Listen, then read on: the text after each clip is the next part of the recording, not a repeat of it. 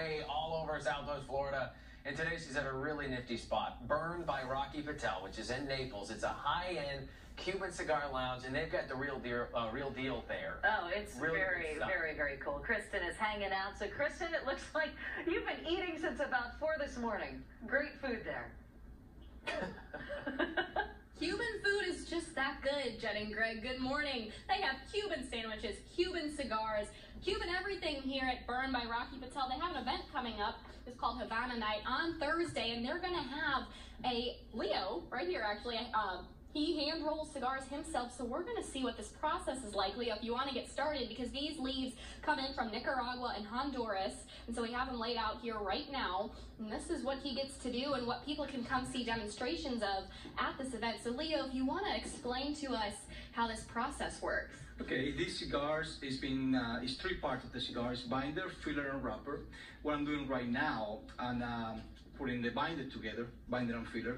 So this tobacco has been aging for uh, five years in um, Honduras and Nicaragua. Is where uh, Rocky Patel have his uh, farms and uh, factories down there. So, and after I made the cigar, I suggest to let it rest for six to eight weeks. So the cigar is like blended together so all the flavors are there. And um, after I made the binder and filler over here, like you guys seen, All right, it's already looking like a cigar, so you roll it up there, and then once this is all rolled up, Once you lay it in up. here. I uh, put it on the mold over here. And then when this mold is filled with all the cigars made in, I put the top on and I use, um, We get it on there. oh yeah. There we go. Sorry about that. So then uh, we put it on a vise and then we press it down.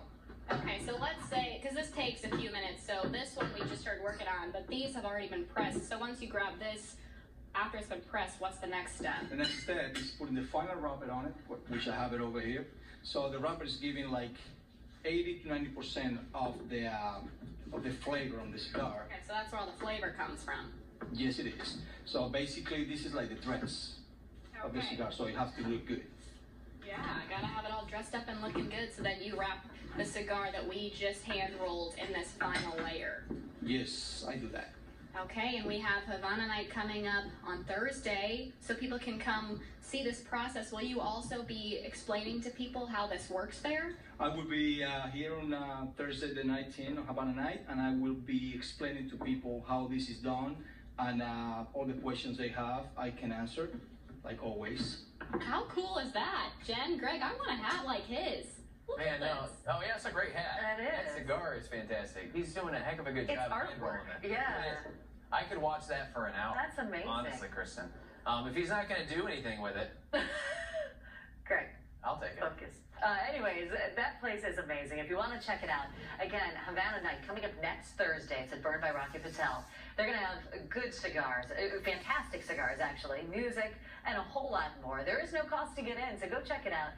It's in Naples at the Mercado. Oh, I, to. What a great night, out. yeah. I've not been before, but I would love to visit. I think I might have to in the near future. If you have an idea for us here for more.